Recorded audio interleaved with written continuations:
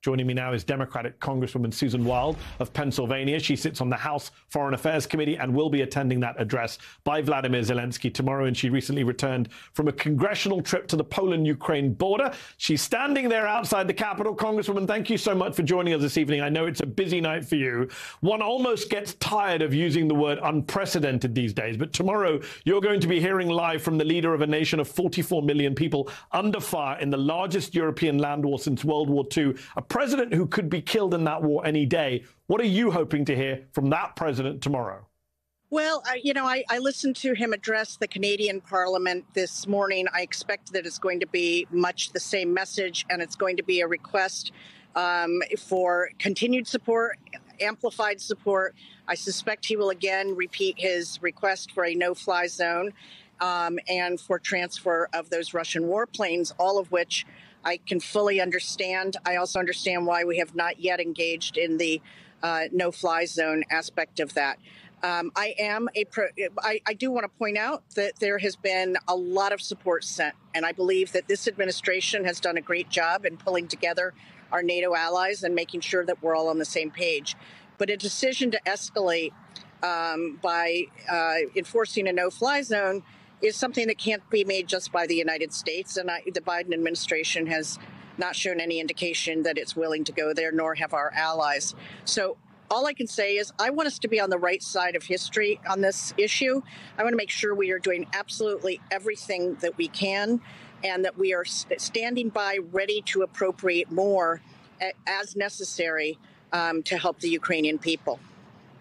So just picking on what you were saying there, just picking up on that, President Zelensky is expected to ask again for more war material and for a mm-hmm. NATO no-fly zone over Ukraine. Today, Senate Republican leader Mitch McConnell was asked about that repeated request from the Ukrainian president for a no-fly zone. Have a listen.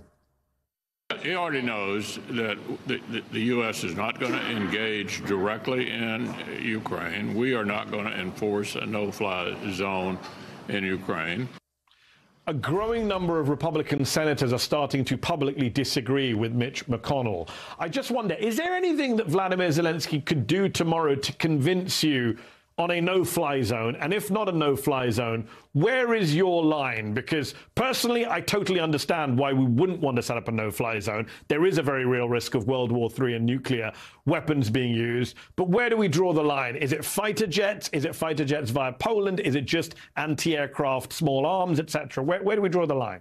I don't think that we can state an absolute on that, Mehdi it, the circumstances change day by day. If chemical warfare is entered into, that will change this the situation considerably.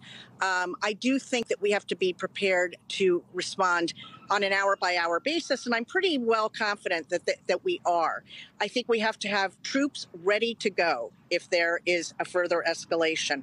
Um, but I don't. I wouldn't stop at anything short of a no-fly zone. I would I, I do believe those Russian war jets should be transferred. If for no other reason, I know I've heard the comments that they wouldn't do that much, it wouldn't be that helpful, but I honestly don't see the downside of doing that.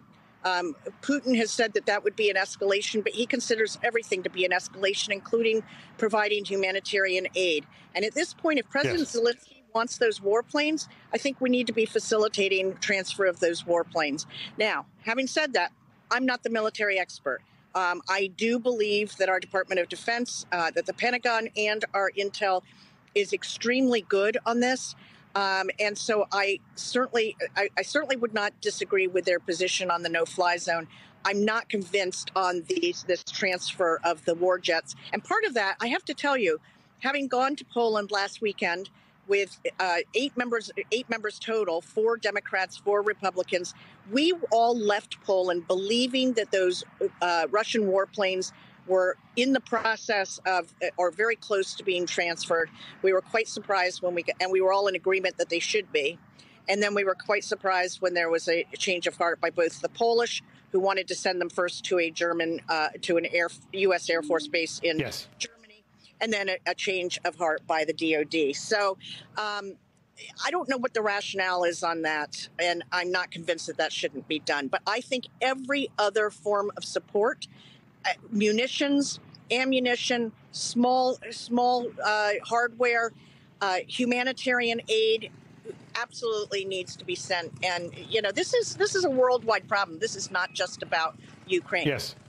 And you mentioned you're not the military expert. We talk about what, how we define escalation. Let's talk about de-escalation. The famous Chinese strategist said, uh, Sun Tzu said, "Give your opponent a golden bridge across which he can retreat."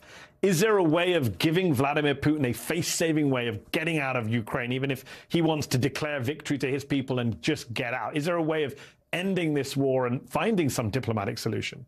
This is this the question of the hour and it's the question of every hour. We have been on in many classified briefings. I have not yet heard anything that sounds like encouraging words that we that there's an exit ramp for putin. Um, and that concerns all of us tremendously of course.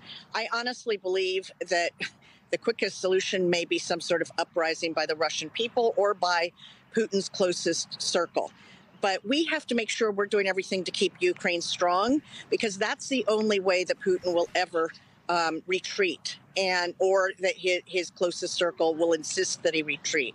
But you know, it, I don't think you can. I don't think you can engage in diplomatic discussions with somebody who has proven to be a liar, who goes back on his word, who says that we have a ceasefire over humanitarian missions and then proceeds to bomb civilians.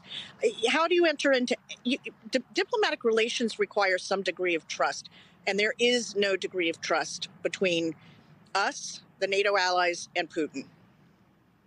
Congresswoman, you mentioned earlier you, you returned from a congressional delegation to the Polish Ukrainian border. What did you see there in terms of the humanitarian situation? Is Poland being overwhelmed by the sheer numbers of refugees coming across the border? It's now a total of over 3 million Ukrainians have fled their country.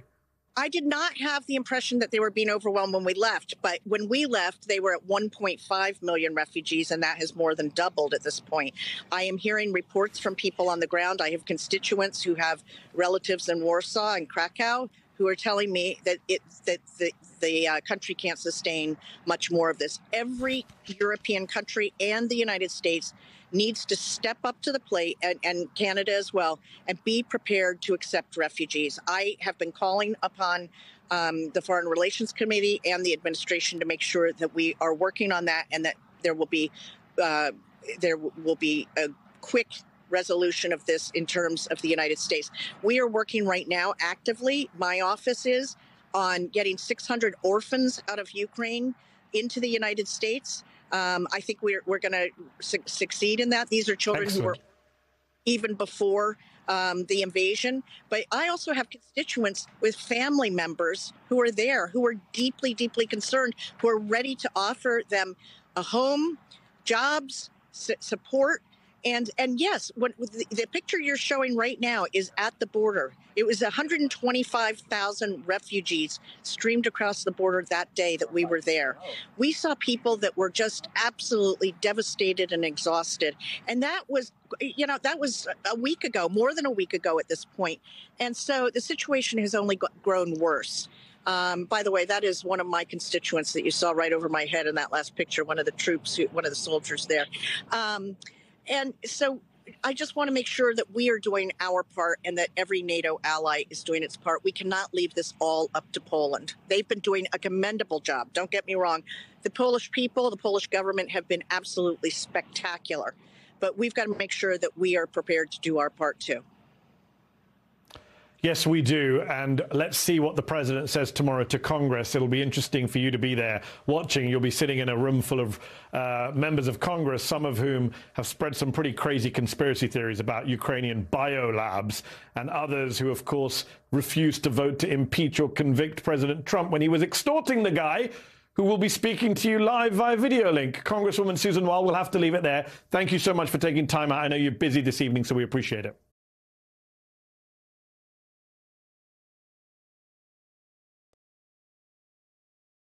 Hi, I'm Mehdi Hasan. Thanks for checking out our channel on YouTube. You can see more of The Mehdi Hasan Show by clicking on any of the videos on this screen and make sure you subscribe below to stay up to date on the day's biggest stories. Thank you for watching.